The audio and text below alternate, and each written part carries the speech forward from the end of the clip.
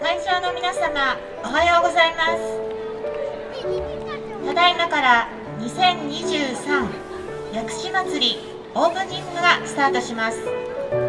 まずはじめに月立薬師太鼓奉賛会の皆様による太鼓演奏です渥美木屋さんに紹介していただきます